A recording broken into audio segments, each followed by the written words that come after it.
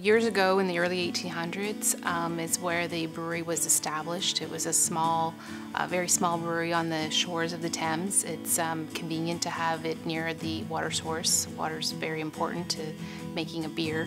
Um, and so John Labatt, he uh, was a farmer in the area and he had uh, purchased the brewery from the previous owners and started brewing beer there. It was just a, a natural place to have uh, his business there and like I said water is a finite resource and something that you need to make beer so it was a perfect location.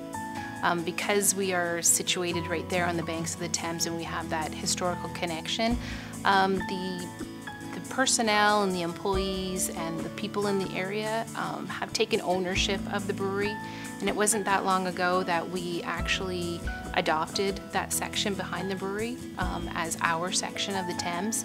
And since we did that, um, we've had cleanup activities. We've participated in the Thames River cleanup for 14 years now. So there's a lot of passion there. There's uh, you know, we really care for the community, we care for the people that live there because we have to, you know, cohabitate together. So we have to have our business as well as get along with our neighbors and protect the natural resources. So it's something that's really important to us. Our employees have a lot of pride. Back to River will help people understand how much the river means to us, what other people have done to improve it, and what how they can get involved. Um, it's a way to celebrate the fact that we are fortunate enough to have a freshwater resource so close to us that we can enjoy. Um, it's aesthetically pleasing.